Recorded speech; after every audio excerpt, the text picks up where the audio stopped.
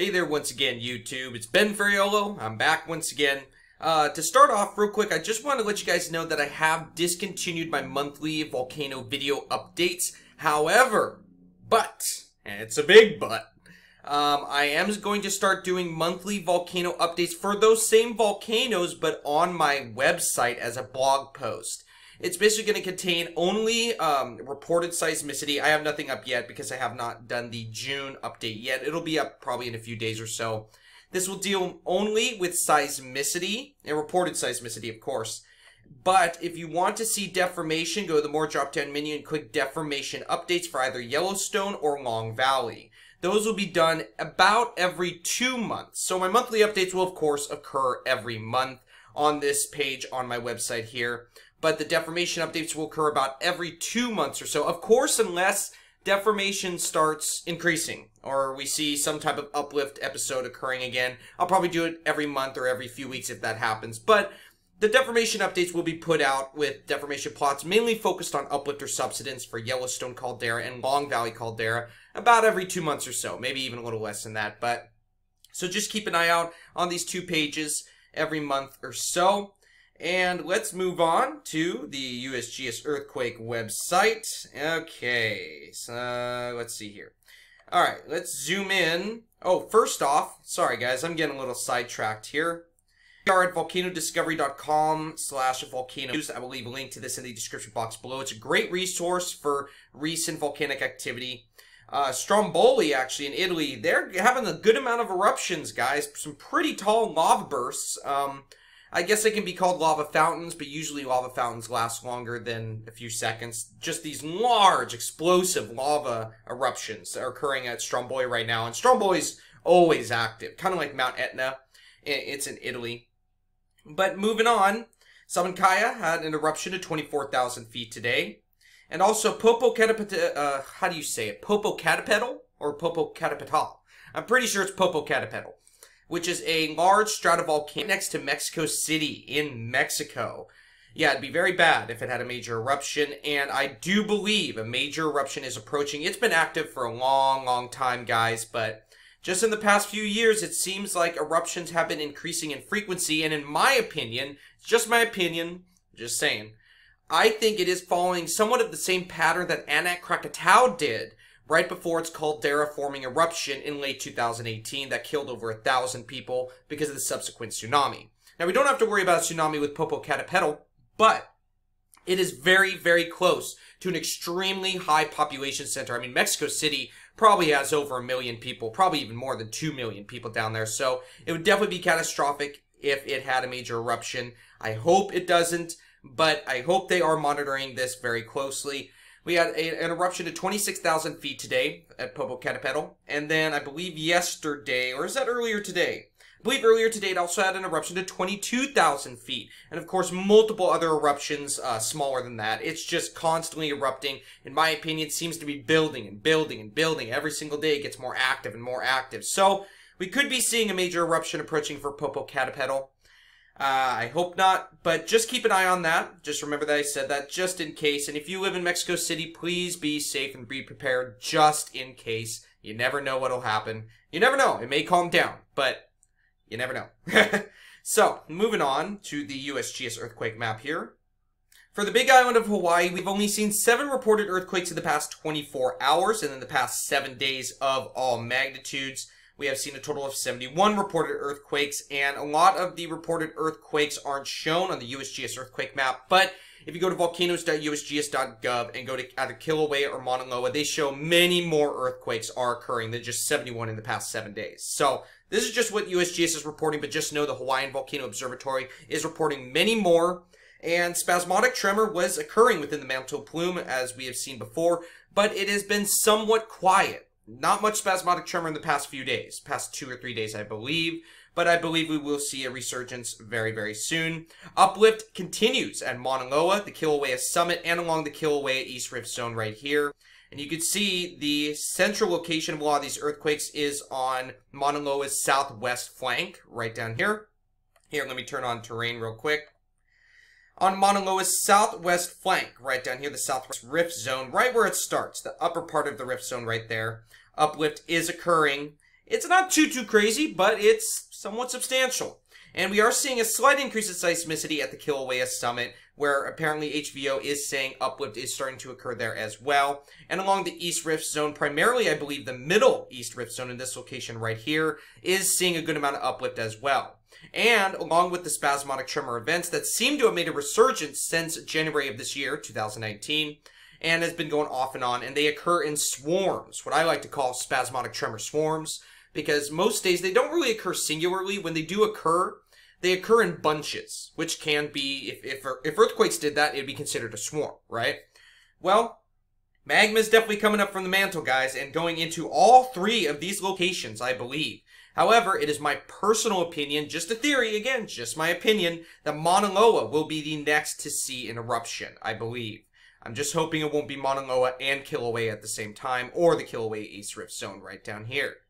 Now here we are at pnsn.org slash tremor for the west coast of the United States, and we do see ever since June 9th, 2019 to right now, 7.20 p.m. Pacific time, June 30th, 2019, we do see ETS pretty much does continue in a somewhat diminished form. Uh, the ETS episode, I believe, was in April and May of this year, just a few months ago. Um, has somewhat calmed down, but you could tell it still is occurring along the Cascadia subduction zone, primarily right up here in the border of Northern California and Southern Oregon, and along the entire section right here of Central Oregon. Not too much in Northern Oregon. Then we see a big space of basically nothing near Olympia and Tacoma, Washington State. Again, I live right there, right in disaster central. we do see a little bit, and remember the uh, 2001 Nisqually earthquake, I believe, occurred right down here somewhere. Uh, a little bit of ETS occurring right there, tectonic tremor being detected by seismic stations, and a good amount of tectonic tremor occurring on the northeastern tip of the Olympic Peninsula, spreading northeast this way. And there's a little bit of tectonic tremor also being detected along Vancouver Island. Zooming out, you can see that tectonic tremor is still ongoing since June 9th, but it has been calming down just a little bit, as you can see. Not too much there, but it's still occurring. Let's go to earthquake map, shall we? So for Washington State, let's do seven days all magnitudes. Here are all magnitudes of the past seven days for Washington State. Let me turn on grayscale just so you can see them a little bit better. There we go right there. You can see multiple earthquakes occurring just west of Seattle. Primarily 27 kilometers in depth, 19 kilometers in depth. No, nothing too crazy. I don't think any of these were felt at all. You never know though. And we did see a few earthquakes the other day under Mount Rainier and actually by the Hanford nuclear site. Somewhat, the Hanford nuclear site's actually right there. So it's just due west. We did see a somewhat of an increase in seismicity right there. But let's go to Mount St. Helens, shall we? Check this out. Just in the past week, in the past seven days, Pacific Northwest Seismic Network and USGS is reporting 45 earthquakes in the past seven days alone. That's a good amount, guys. I believe that's higher than last last month's total, like for a whole month, and this is only seven days worth. So we have definitely seen an increase in seismicity in Mount St. Helens, mainly small magnitudes, though. But still, you never know. Let's click largest magnitude first. The largest was a magnitude 1.4 directly under the Mount St. Helens crater at 4.1 kilometers in depth. June 30th, actually, at 1531 UTC, so just in the past 24 hours, we saw one. And let's go newest first. All right, so actually under the summit in the past seven days, we are seeing a total of, if my computer let me get there, 30, just right under the summit. And we so we are definitely seeing an increase in small magnitude seismicity at a at a moderate depth. You know, it's not too shallow, it's not too deep, but you know they are occurring. Now going up to Mount Rainier, if it'll let me. Sorry guys, got to bear with me. We did see a few earthquakes reported the other day from Mount Rainier. Got two right here along the uh, West Rainier seismic zone, which is this area right here related to tectonic activity. Under here could be related to either magmatic, hydrothermal, or tectonic activity under Mount Rainier. Then we had one just to the south right here. So Mount Rainier isn't seeing too crazy of an increase of seismicity compared to Mount St. Helens, but it is occurring nonetheless. Now, let's go all the way up. Come on, buddy one day all magnitudes. And with the increase in volcanic activity worldwide recently, I mean, there just past week or two, there have been some pretty big eruptions along the Ring of Fire, going up. One of them, Ulawun, I believe it was the Ulawun volcano in Papua New Guinea, went up to 63,000 feet. I mean, that was an absolutely huge eruption there. And the Manam volcano, I believe, also erupted just a few days after that in Papua New Guinea as well, to about 55,000 feet, I believe it was, or 50,000 feet. Might have been 50,000 feet. But going over here just recently, in the past 24 hours, I believe just a few hours ago, actually, we did see a magnitude 4.2 at 3.1 kilometers in depth in eastern Nevada, right on the border of Nevada. And what is that? That's Utah, right? Yeah, that's Utah. Pretty sure we, oh, oh no. Yeah, yeah, that's Utah. My goodness, sorry guys. Alright, zooming in. Let's turn on US faults just real quick. Not seeing any mapped faults for this area. Nevada is really mapped well on the USGS earthquake webpage.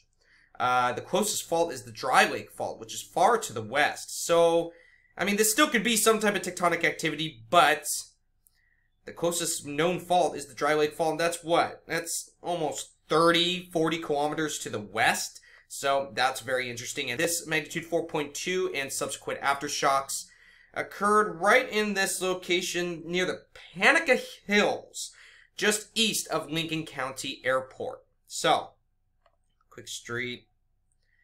Uh, let's go to satellite, shall we? Very deserty region. The crust is very thin in a lot of these areas, guys. So, even small little fissures can't open and let magma come up. I'm not saying it is volcanic in nature, but I must always put out that possibility since that is what I try to look out for, mostly. And in my opinion, what is this, an old lava flow? No? Maybe. This just might be an old lava flow or something. That looks very intriguing. But we already know Nevada, pretty much the whole state is very volcanic in nature because the crust, again, is pretty thin in that area. So we're going to take the data from the closest seismic station for this magnitude 4.2 at 3.1 kilometers in depth. Let's go to the event page real quick. Come on, buddy. Remember, this area is very sparse in population, so not many people are going to report feeling it compared to if it occurred like in Seattle or Los Angeles, right? But 50 people did report to USGS that they did feel this, and they do have a moment tensor associated with this earthquake right here. So why don't we take the data from the closest seismic station, and let's click origin. Remember, this is whenever you see a reported earthquake from USGS, usually they do show the lists of stations that they use to pick phases, and they usually get the first and the closest seismic station correct. Usually they do. If it'll go.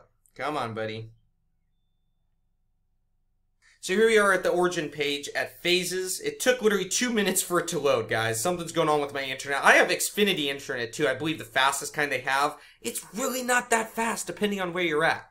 Sorry guys, had to put that out there. Click arrival time to see the closest seismic station. Usually the closest seismic station is the first one listed when you click arrival time.